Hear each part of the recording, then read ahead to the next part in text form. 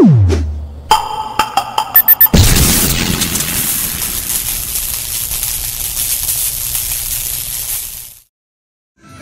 got the spin on this game.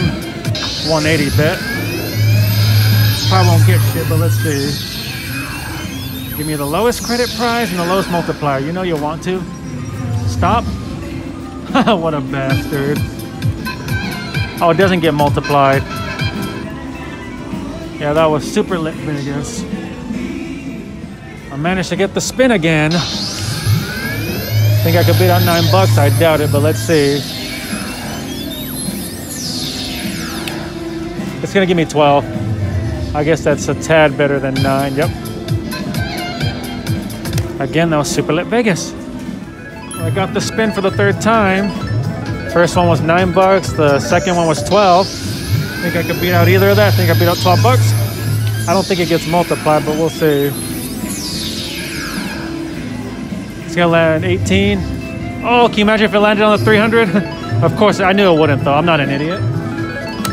Not bad though, 50, 40 bucks, I'll take it. I got the spin again for the fourth time. Let's see what this one does, if anything. Probably not much, but let's see. 36, uh, no, it's gonna give me 15. Again, I'm not an idiot. I knew it wouldn't give me a higher credit prize. Not bad though, 24 bucks. I got the spin again for the fifth time, this time on a $3 bet. Max bet is six bucks, it's a little too high for me.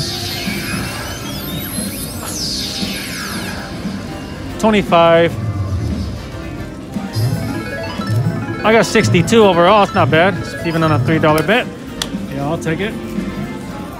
Went back down to 180. Got the wheel spin for the sixth time. Let's see.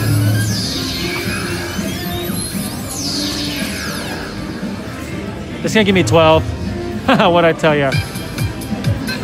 Not bad, all 38 bucks. Take it.